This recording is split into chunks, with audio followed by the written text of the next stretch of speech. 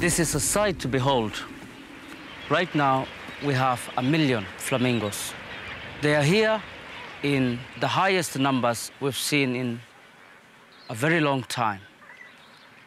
Yes, we're happy to see them, but it could be a sign of trouble in the other lakes. Many lakes in the Great Rift Valley are shrinking. The main reason is lack of rainfall over the years. What you see is eight months we've never had any rain.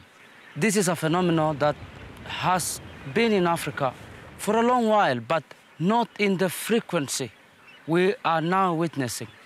I think very strongly that climate change is responsible for this.